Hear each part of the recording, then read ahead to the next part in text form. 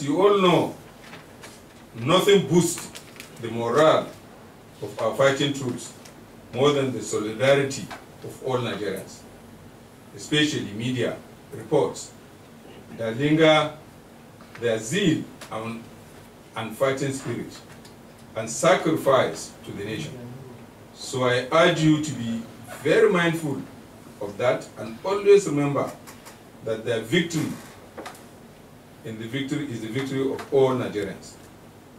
We shall be open and constructive engagements and criticisms that will support the military.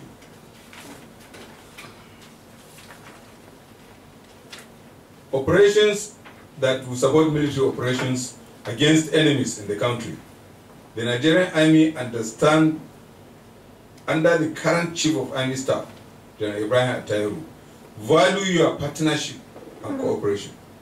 The COAS, who was once in this position, is ever ready and determined to sustain the enduring relationship with the media through trust, respect,